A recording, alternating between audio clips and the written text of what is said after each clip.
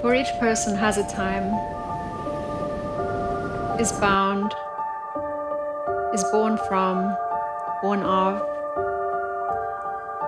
There is a center.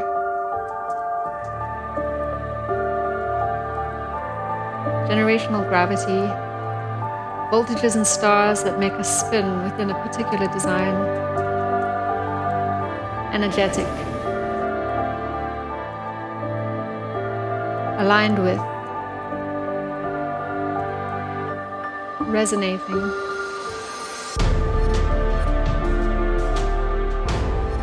For each time, there is a window originating.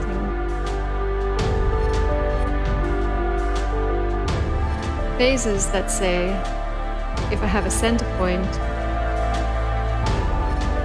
a specific tendency, if I am an era, a universal epoch, if I am in that way unique.